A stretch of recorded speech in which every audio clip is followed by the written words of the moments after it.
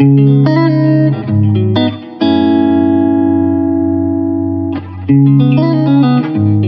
percent of Vestiaire Collective users say that using our platform enables them to gradually distance themselves from fast fashion and shop less but better. BNP Paribas Personal Finance invites you to discover On the Way, the podcast that explores the paths to responsible consumption. Whether entrepreneur, people from the world of business, or researchers, On the Way gives a voice to those who day after day are helping to develop more sustainable consumption. Welcome, and I hope you enjoy listening. Hello, On the Way. I'm Hortense Pruvost, Impact Manager at Vestiaire Collective for just over two years now.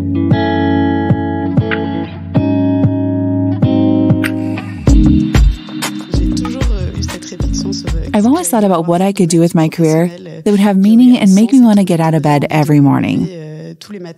I started by taking medical school exams that I didn't pass. And so I went to study sociology in England. Then I came back to study political science in Paris. That's when I took my first classes on the environment. Before, I was more into the social and sociological side. That's when I came across Ashoka. We did an assignment, a collective student project for Ashoka for a year. I met plenty of social entrepreneurs working with the social and solidarity economy. It really inspired me and gave me plenty of ideas. It was really fantastic. But after that, I still also wanted to see how the economy and the large corporations that we all know approach these challenges. CSR departments were just starting to emerge, and I went to Synergences, a sustainable development and CSR strategy consultancy, which then joined Deloitte.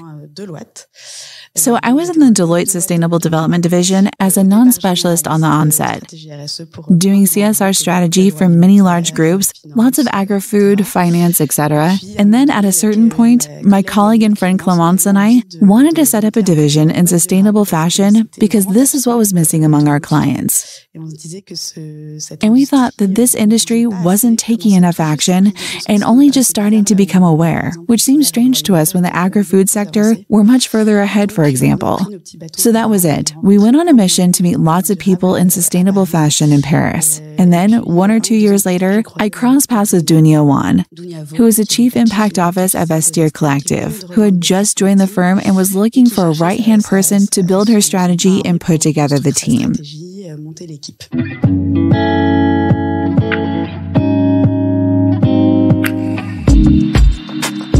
Vestiaire Collective was founded in 2009, so you have to imagine that in 2009, secondhand goods were not at all what they are now.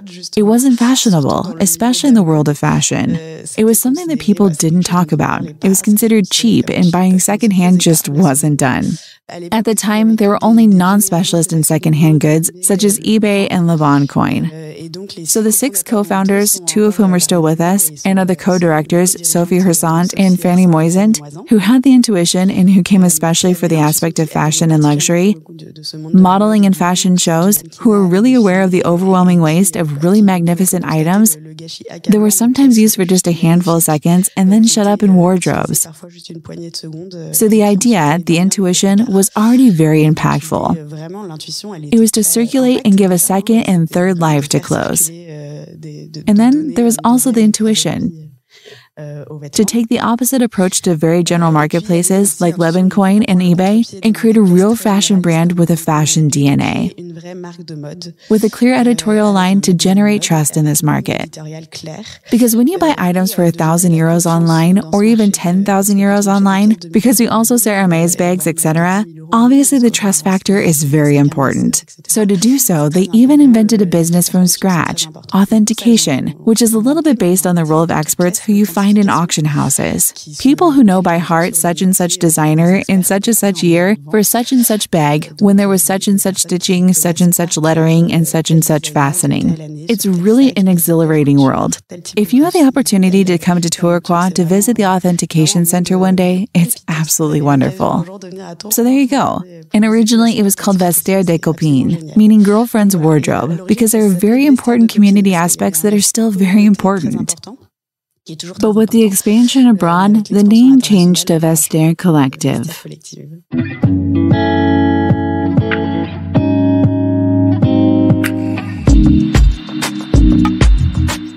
So today in 2022, Vestiaire Collective is present in more than 80 countries. We have nearly 1,000 employees. When I arrived nearly two years ago, there were only 300 of us. So it's really partly a recent expansion. We're present on three continents Europe, Asia, and the Americas in the broad sense. To give an idea of the scale, we have a little over 5 million items a little over 125,000 new items posted online every day, and a community of over 20 million users, buyers, sellers, or both. The Vestiaire Collective community is mainly women, but not only. And also, the number of male users is growing a lot too. Euh, Our recent brand campaign introduces five characters. I don't know if you've seen the poster campaigns in the metro.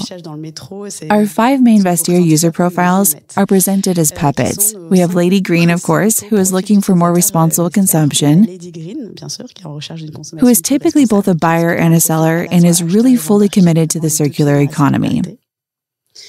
Euh, we have Rich, who is more of a seller, so who does this almost as a hobby, but also has a way to supplement his income.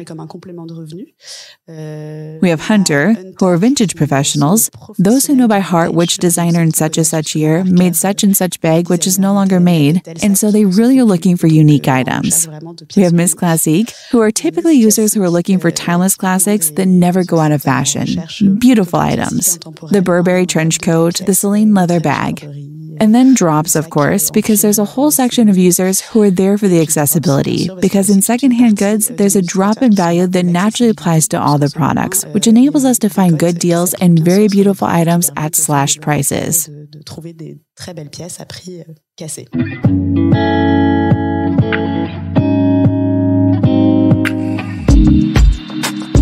The Vestiaire Collective brand has four pillars fashion, which we talked about a bit, of course, a desire to have a curated selection. And we have a team called Curation, which makes a selection at the entrance of the catalog.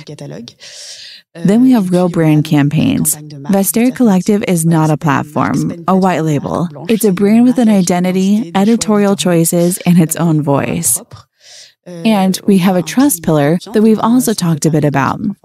It takes shape, comes to life, of course, and this authentication know how that is not only, as you can imagine, in jewelry or rare items, but even for a Balenciaga trainer.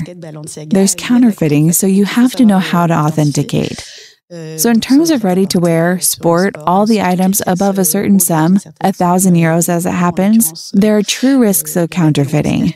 The users can choose to have their items authenticated.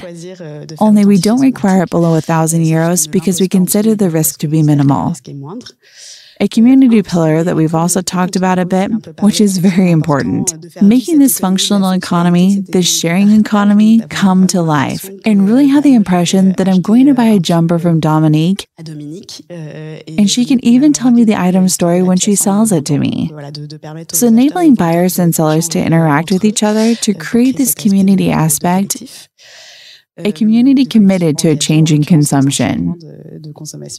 And the last pillar, of course, is the impact. It applies both to the brand's DNA and the observation we've already mentioned of clothes waste, as well as the impact strategy we're putting in place.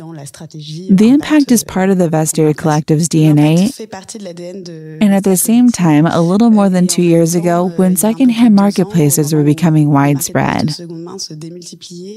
Once again, Fanny and Sophie had the intuition that it was no longer enough to be a 100% circular company, that a quote unquote proactive impact strategy was also needed. Therefore, we developed a strategy around four pillars once again. The first pillar, exemplarity, which very quickly took shape through B Corp certification, which is the most demanding CSR certification and really affects everyone in the company from governance to the environment. So the exemplarity pillar, which is very internal and focused on internal policies and employees to awaken the activism in them. The second pillar on the impact measurement and improvement of our environmental and social footprint, in particular the climate strategy. The third pillar is around community. How we bring this topic to life in the user journey as well. How we reward and encourage these users who have chosen the circular economy and we encourage them to go even further in the circular economy.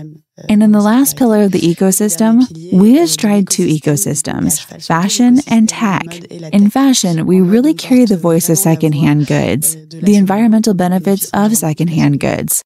And in tech, more the voice of the position of women, because as a company whose idea began with two female co founders, we have legitimacy, and it's a very important topic.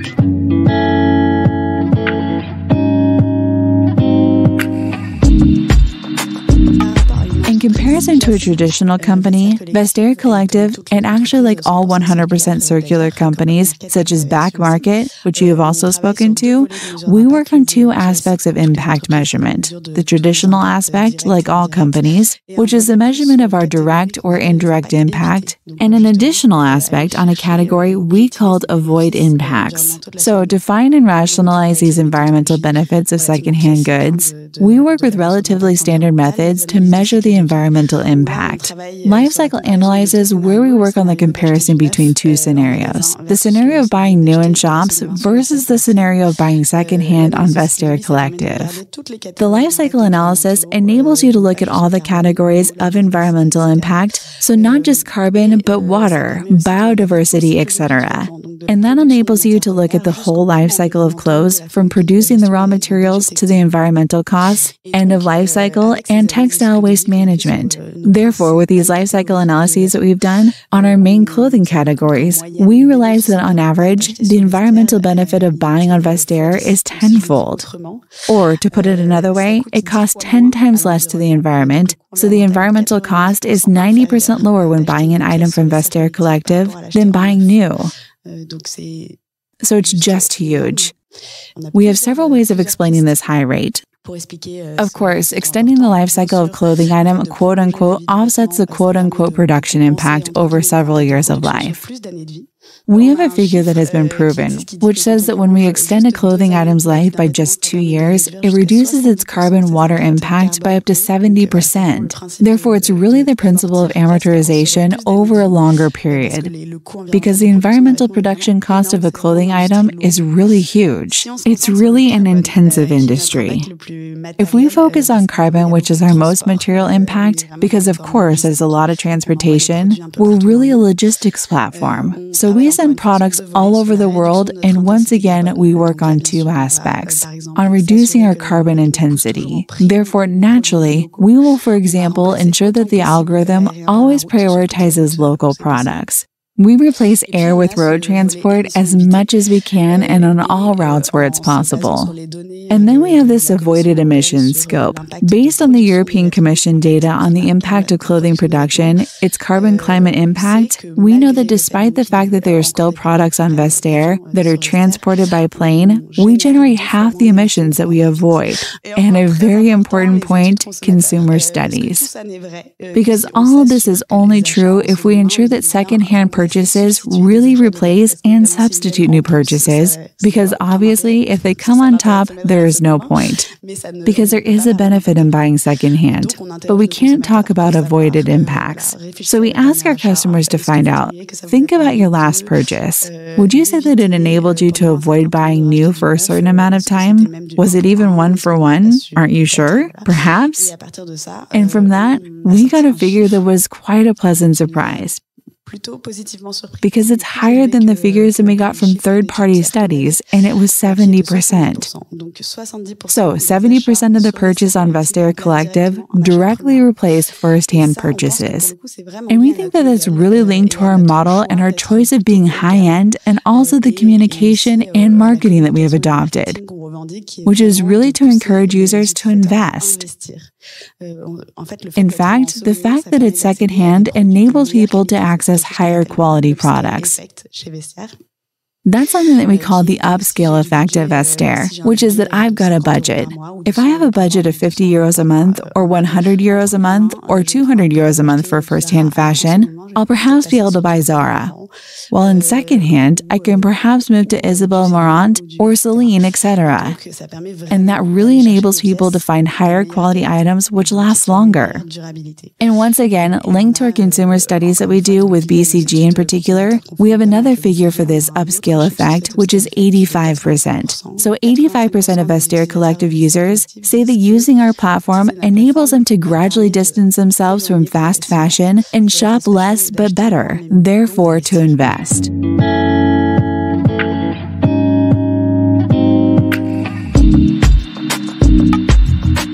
The secondhand market is growing more quickly than the new market and faster than fast fashion. So these are encouraging stats. But despite everything, looking at it head on, this is still peanuts when we look at the overall purchase volumes. It's difficult to find the figures depending on whether it's in terms of volume or absolute, but let's say around 4% of sales, or in certain studies, for example, 50% of French people bought a second-hand item this last year. Well, that's cool, but it's not actually enough. When you look at the climate and environmental urgency we're facing, we really want this market to take off much faster, and we really want to help people move into secondhand, both in terms of buying and selling, getting their items to circulate and for this, we take action on different levels. We have a lobbying part because we think that public authorities can play a very important role, for example, with tax incentives. We often talk about green VAT. It's true that there's no real reason to re-tax secondhand products that have already been taxed when sold firsthand. That would enable us to reduce our commission and continue with this momentum to make durable items accessible. Also, these tax incentives have really shown, as demonstrated with the automotive industry, for example, that this works. The automotive industry is nearly balanced between secondhand and buying new. But that's because it received huge amounts of subsidies and grants from public authorities. So the public authorities have a role to play. Then, naturally, I think, there's communication and marketing. For example, we really like Back Market's marketing. You are heroes in buying secondhand to make people realize and really draw inspiration from that and use our figures in communications. In our CRM, for example, to really encourage people and show them that their act of buying secondhand is not the same as a first-hand purchase and then making the customer experience as seamless as possible so that it's easy to find what you're looking for with secondhand as with firsthand. And then the last aspect, I think, is also becoming aware of the main criticisms that are made with this booming secondhand market, which is, in a way, the rebound effect. In the end, don't we encourage overconsumption with this accessibility? So, is it actually less expensive to buy more? Or even worse, there's a second-hand market, so I don't actually need to think much about what I'm buying because I can always sell it on? Several things. Firstly, it's one of the reasons for which we took the recent decision to really stop fast fashion, to leave this market behind, which in a way makes no sense in secondhand because the economic model. Because in the first-hand economic model, you still need to explain how you can sell a t-shirt for 5 euros and pay the workers who made it. But in second-hand goods, it's the same. We have a commission-based model. There's no economic model for a 5 euro item. That's the first thing. But beyond that, a 5 euro item generally becomes deformed after one or two washes. It doesn't have the capacity to have a second or third life. And then this is not part of the approach we promote with our users, at least, of less but better. What we want is to really invest. Even in cotton t shirts, you can invest in good cotton t shirts that's well woven and will last over time. And also, in addition to being disastrous in terms of its production conditions, fast fashion is also disastrous in its end of life. I think that now everyone has become aware of this because there's an NGO called the Or Foundation that has done fantastic work to raise awareness of these issues. But our textile waste in Western countries is mainly sent to Africa, well, Africa and also South America. Many developing countries which receive such quantities that it's completely unmanageable they don't have the capacity or infrastructure to manage it all.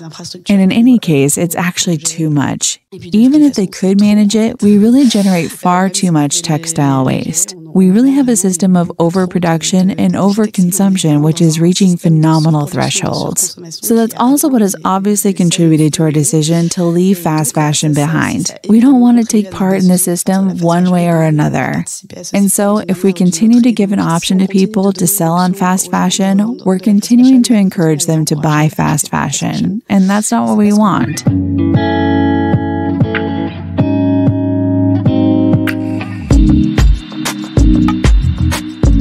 Everyday life as a consumer, it's going to sound very corporate, but I really try to apply the trifecta less, better, and secondhand. I really think that we have to make less. We don't have a choice. Also, I think that it can really be a pleasure to make less. I really believe in happy sobriety and minimalism. And I also think that on the other hand, you really have to be at peace and okay with the fact that we all have paradoxes, that sometimes pragmatism takes precedence and we can't be perfect in every aspect of our lives. I say that because I also became a mother recently, and I realized that in terms of sustainable development, having a child is not always easy. And I also think that you shouldn't let eco anxiety eat away at you. Obviously, it's good to be aware of these challenges, but it shouldn't paralyze us in every aspect of our daily lives.